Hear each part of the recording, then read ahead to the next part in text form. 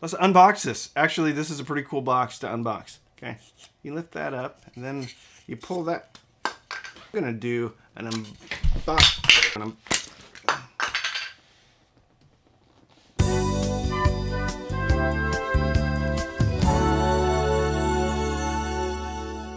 Hey, I'm Randy and you're watching The Cheap Audio Man. Here at The Cheap Audio Man, we help everyone find high-value hi-fi, home theater, and headphone equipment. And today, we're talking about the Sumiko Phono Cartridge Oyster Series. This is the Wellfleet. I'm not quite sure about the packaging here. Reminds me of something else. So sit down, grab a cup of coffee, and let's talk about the Sumiko Wellfleet Phono Cartridge. Ah. The last cup is always the most bitter cup. Today's sponsor is a doozy. That's right. It is the Cheap Audio Man Record Mat. Uh, Cheap Audio Man Record Mats. You know it's audiophile when you have a guy like this looking at you. Sumiko Oyster Series Phono Cartridge. Wellfleet Oyster Series. like the watch? I don't know. Anyway, it comes in a very nice cedar little box. Look at that. Look at how pretty that is. It smells good too. Like a cigar. Cigar shop. Why did cedar? Maybe, I don't know, you need to keep your phono cartridge low humidity? Humidor? Do we need to keep phono cartridges and humidors? Alright. Let's unbox this. Actually, this is a pretty cool box to unbox. Okay. You lift that up and then you pull that. I'm gonna do an unbox. It's okay. It was a joke. No phono cartridges were harmed in the making of this video. Okay? There wasn't a phono cartridge in there.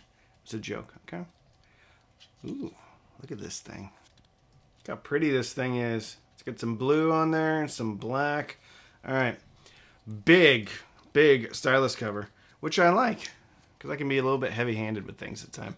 So, why don't we install this on one of my removable head shells and give it a listen on the old Fluance RT83. So the Wellfleet cartridge comes with uh, an Allen wrench. Hold on, if I can get it out of here, I'll show it to you. Two little bolts. Thank you, Sumiko, for giving us so many extra bolts just in case we drop one. It's okay, I'm going to try to be careful. then it comes with one of these. Little brush. Mm-hmm. I don't know what this is for. Glasses. Just Kidding. I'm assuming it has something to do with the phono cartridge. So to get this thing going, I gotta take this off of here. And then put this one on there. Okay? Let's do it. Let's try not to break anything.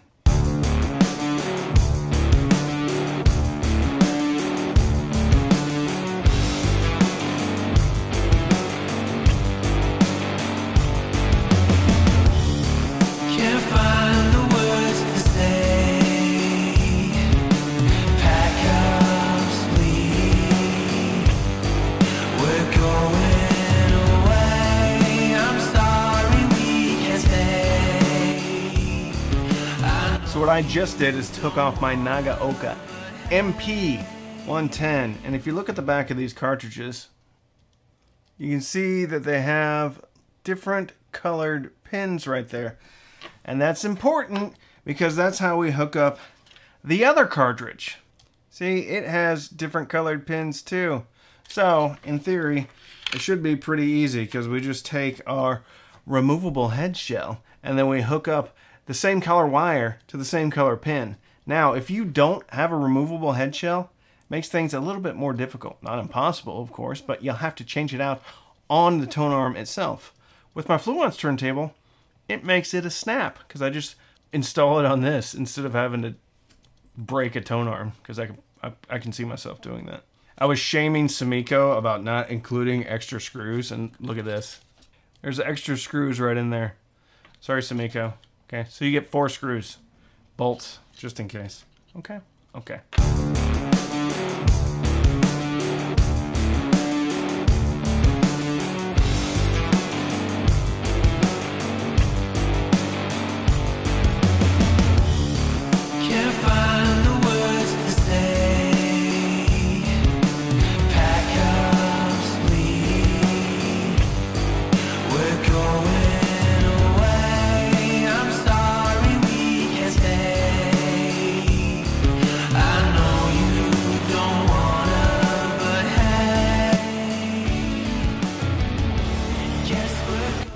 We got it on.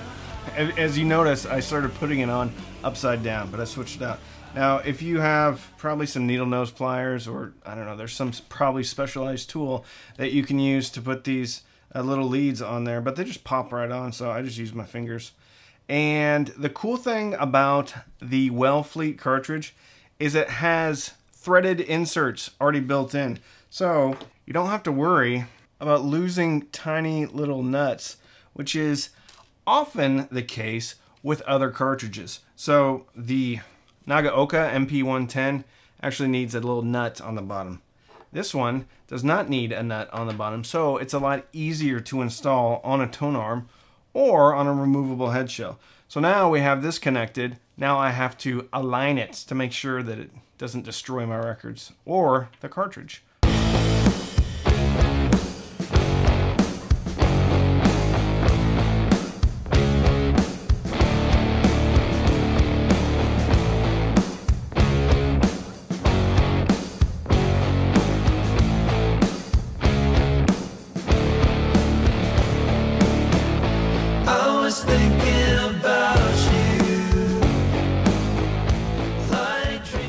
So, the Wellfleet by Sumiko, one of the Oyster cartridges.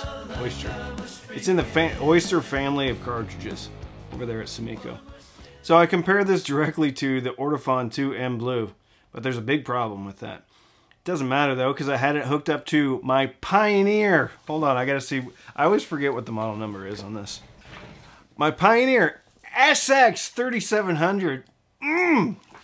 It's a vintage, vintage receiver which is awesome. If you don't have a vintage receiver, please go out and get one because it's great. They're a lot of fun. They sound real good, and oftentimes they have a very good phono stage. This one, the Pioneer, has a very good phono stage, and I just like it because it has dancing lights. Anyway, I hooked up the Sumiko Wellfleet through the RT83, which is my reference turntable, Fluance. It's a $300, $350 turntable. But most of the money on those turntables goes towards the cartridges. So the RT82, 83, 84, 85 are fundamentally the same turntable except with different cartridges. And then the RT85 has a acrylic platter. Yes, this one does not. Some type of metal platter. Anyway, does it matter? Not really.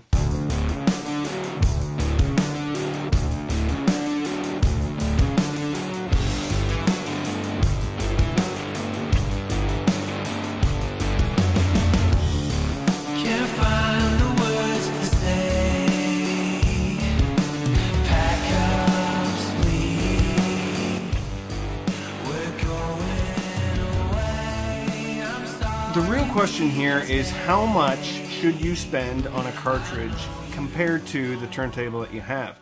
So I have a $350 turntable and I just put a $450 cartridge on there. Did I hear an improvement over the even upgraded Ortofon 2M Blue? Yeah, I did. I did, but here's the problem.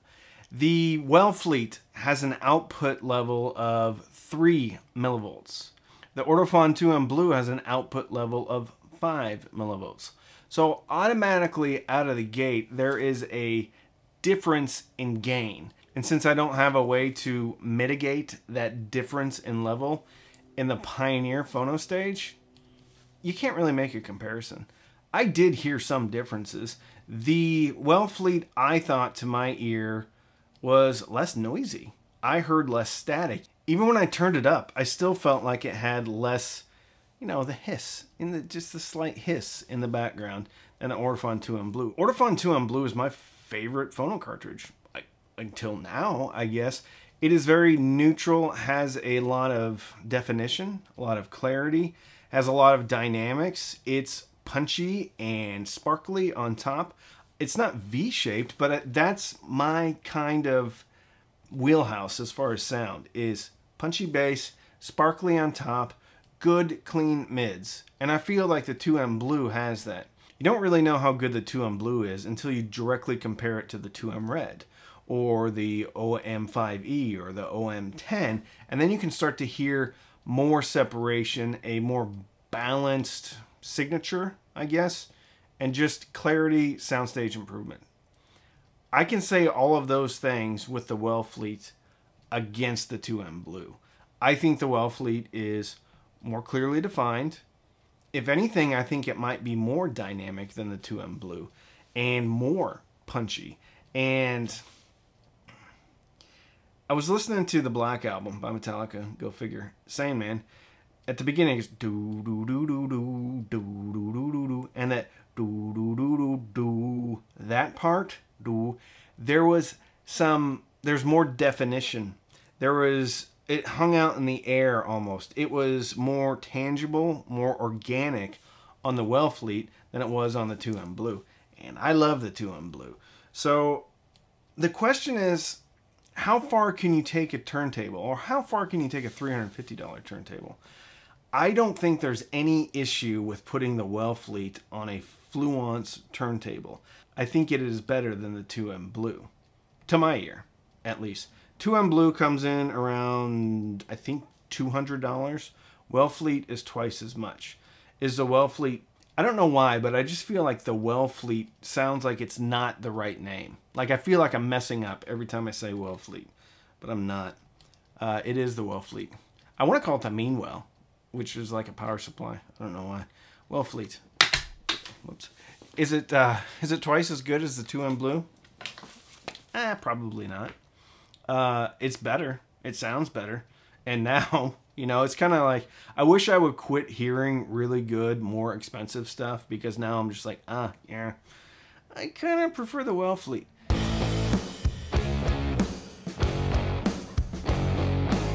Uh, I can't put a percentage on it um, because there is some definite improvements.